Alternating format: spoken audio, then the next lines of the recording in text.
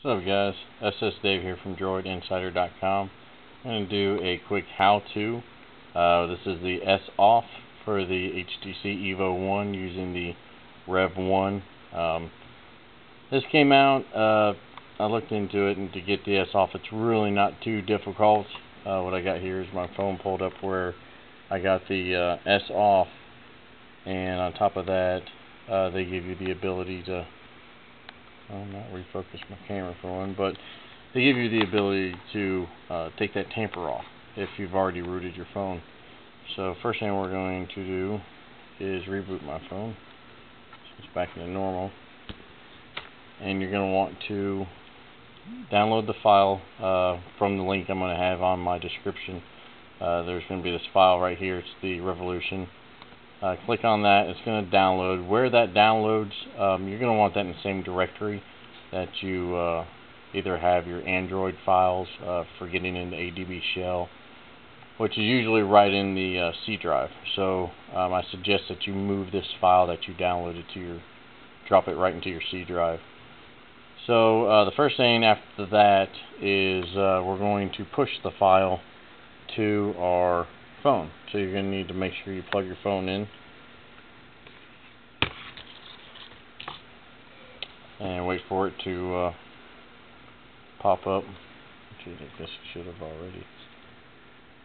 And my phone's still booting up, so. So as soon as your phone boots up and it connects, like so,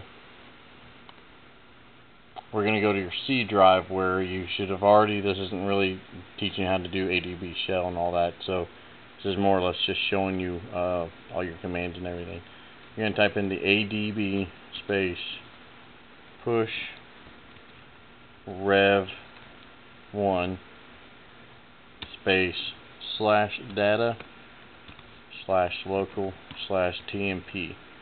Uh, that's a, basically taking line 1 uh, from ADB push right here. To push enter and you just sent that file you downloaded to your phone. You should get a how many kilobytes per second kind of stuff there. After that we're going to open a ADB shell so you just type in ADB space shell. You'll see it says root at Android and give you a pound sign. That's where you're going to type in cd space. We're going to go to directory slash data slash local slash temp, tmp temp. Uh, once you're inside that directory, you're going to type in the chmod, change its settings to 755 revone. So that's chmod space 755 space revone.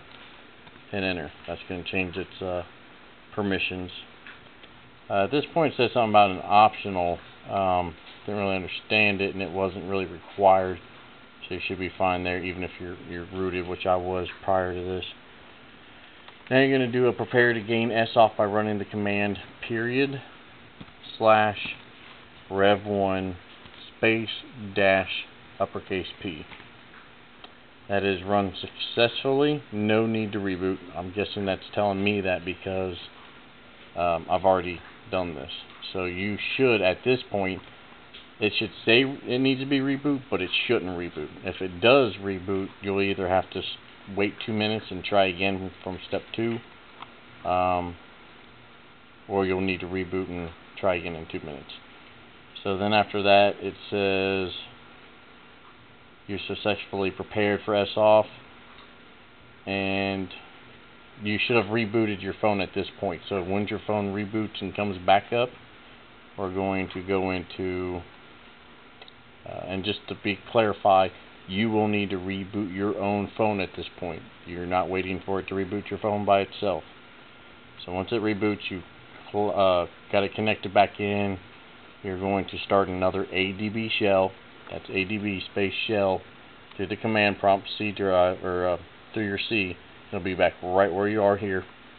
Uh, you'll need to type in to go to the uh, data local temporary where I still am uh, you'll do the cd space data slash local slash temp get back in that directory once you're there you're going to do the period slash revone space dash s space 0 space dash U. Hit enter and you should have a revone successful. At this point, they tell you that um, they give you several other dashes you can do. They suggest you reboot your phone, which is what I did. I rebooted my phone into the ADB reboot bootloader. You know, pretty much where you hold the down button and power up, or you just tell it when you hold down the power button to get into the uh, uh, the bootloader. Um, but at that point, you should already be S off. However, um, it'll probably still say tampered if you already had unlocked your phone. So what you can do to remove that tampered, uh, as it says in option number 9, is to you're right back where you were, data local temp in an ADB shell, just like we just were.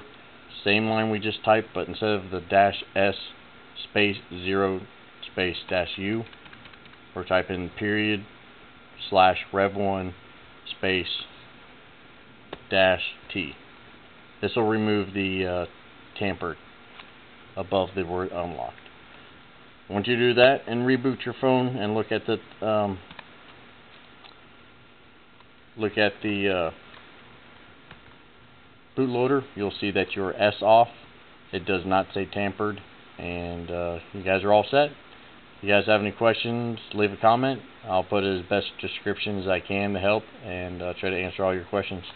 Thanks for watching, guys. Don't forget to subscribe and uh, hit that like button.